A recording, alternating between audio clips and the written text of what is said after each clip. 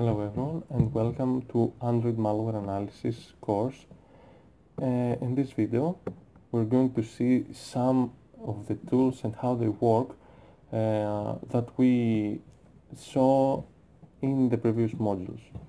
So let's start with APK tool. Uh, I have downloaded the files of APK tool from uh, the link that I gave you in module 2 and here I have an APK file from Flappy Bird which is which a game that uh, has been many times uh, been malware infected.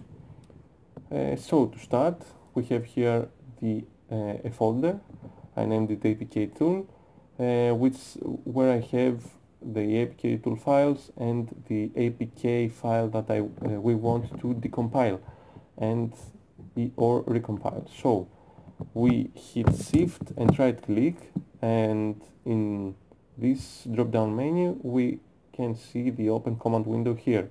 We select it and a new CMD window opens. Here we can we are in the folder of the APK tool and to decompile the flappy.apk that we have we type apk tool d from the compile and the APK file that we want to decompile. We hit enter and as you can see a new folder with all the files of the uh, the decompiled files or the unzipped files of the Flappy Bird application is here in the new folder. Now uh, another thing to do after we completed our analysis and uh, completed or complete our uh, malware development is recompile this uh, APK to be able to be recognized as an application from the Android uh, systems. Uh, to do so, we type APK tool again, but in this time B and uh, the name of the folder of the compiled APK and hit enter. And as you can see here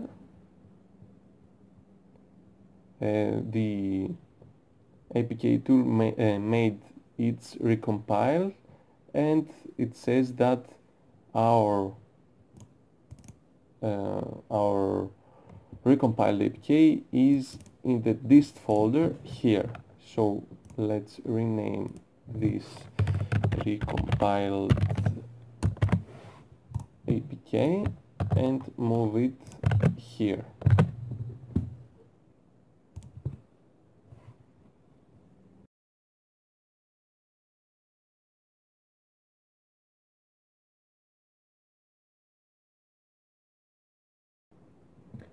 Now that we have uh, finished uh, the compiled of our new APK, we're going to use a new tool, the ZipAlign tool, which we, you can also download from uh, module 2 and you place it in the same directory as earlier. Um, so ZipAlign is an archive alignment tool that provides important important optimization to Android to Android applications.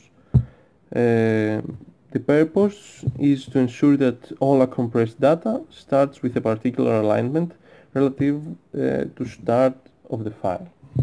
So to do so, uh, first of all we need to do this in every application that we uh, we decompile and then recompile.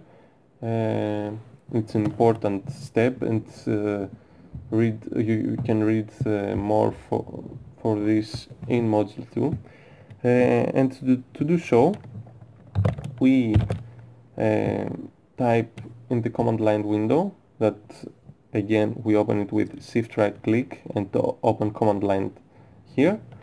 Uh, so we type zip zipalign dash v4 the recompiled apk uh, file and then the new APK that we want uh, to produce. So in my occasion, new.apk, hit enter, and as you can see here, we have a new zip aligned APK file. Uh,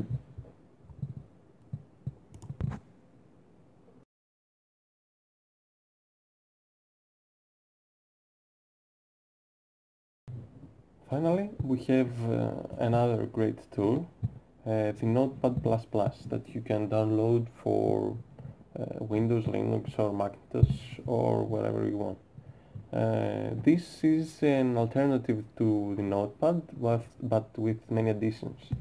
Uh, if we install it, we can right click and hit edit with Notepad++ and as you can see it opens uh, the new file here you can see that uh, this uh, this file is red. Red means that you have done changes in this file, you closed the program and uh, it saved automatically but it, it didn't in Notepad++ but it didn't save in the file. So if we hit save you see that it is now blue and everything we made, everything we changed is saved into the file. So with saves, uh, you are not going to lose anything and uh, you uh, can make changes but not save it directly to the file. Uh, another really interesting uh, addition is that uh, we can write code and it helps us find things like this. It as you can see it uh, autocomplete many things uh, and this makes our coding uh, easier because uh, not easier, uh, faster uh, our coding because we do not have to write many many lines of code and it auto completes many things. another really interesting thing is that it uh, separates things with coloring and it is easier on the eye. Uh, we can uh, determine which things uh, we care for this time in this analysis or the other one. Uh, it makes spaces so we can find for example, when it starts the manifest file and where it ends, where this user permission starts and ends, or this activity, you can see that if I select it, it uh, highlights the start and the end of this activity or uh, of this application or a manifest. Uh, so it's really interesting uh, tool with many more capabilities and feel free to search it and find uh, Uh, all the capabilities that suit you.